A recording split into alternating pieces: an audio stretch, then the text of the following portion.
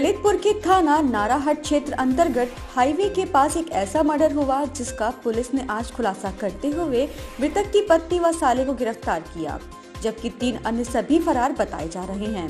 बताते चले कि 6 फरवरी 2020 को थाना नाराहट क्षेत्र अंतर्गत गोना रेस्ट हाउस के पास एन एस चौवालीस पर बुलेरो गाड़ी में मिले एक 45 वर्षीय युवक के शव ने पूरे इलाके में हड़कंप मचा दिया था। मौके पर पहुँची पुलिस ने शव की शिनाख्त की तो उसकी पहचान मध्य प्रदेश के सागर ज़िले के थाना अट्टा निवासी देवेंद्र सिंह के रूप में हुई। पड़ताल में पता चला की मृतक पेशी से पत्थर व्यवसायी है।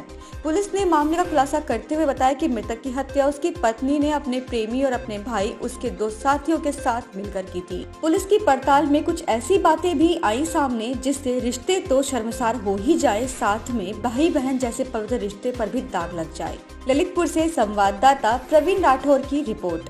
हत्या करने में मृतक की वाइफ स्वयं, उसका साला, यानी कि जो मृतका, मृतक के पत्नी का भाई, वो जो वक्त फरार है और एक रिश्ते का भाई जो यहाँ पे मौजूद है, इनका नाम है सुरेंद्र सिंह तोमर, पुत्र रूप सिंह तोमर। ये इन्वॉल्व थे।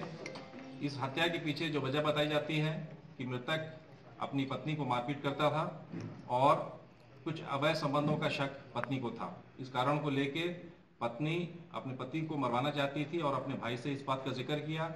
ये जो अरेस्ट किए गए हैं, सुरेंद्र सिंह, इनसे ज़िक्र किया और एक प्लानिंग के तहत वहाँ से अट्टा से मार के बोलेरो को हमारे नारा क्षेत्र में लाके छोड़ा गया। इस घटना में दो गाड़ियाँ भी जो हायर की गई थी, जो ड्राइवर्स थे, उन्होंने भी इस बात की पुष्टि करी कि हाँ ये लोग उस रात में यहाँ तक आए थे।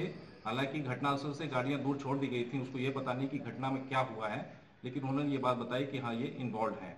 तो इस तरह से घटना का खुलासा हुआ और जब इनसे पूछताछ की गई, मृतक की पत्नी से, जो मुकदमे की वादनी है उसने भी ये स्वीकार किया हाँ साहब बहुत बड़ी गलती मुझसे हो गई और उस चीज़ को उन्होंने स्वीकार किया। और ये अभियुक्त सुरेंद्र सिंह भी इन्होंने इस बात को स्वीकार किया है।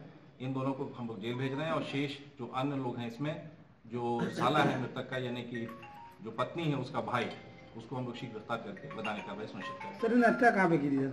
हत्या घर पे की थी अटक गाँव मध्य प्रदेश मालथौन थाने में।